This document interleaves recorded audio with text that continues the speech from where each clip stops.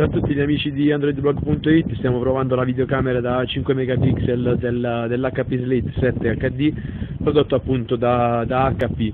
Il tablet in questione presenta una fotocamera da 5 megapixel in grado di registrare e catturare video fino a 1080p.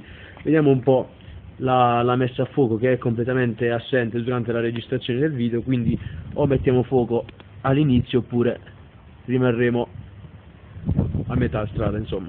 Proviamo un pan veloce. E proviamo ad andare anche contro luce un po' per vedere come si adatta anche se la luce davvero non è molta oggi.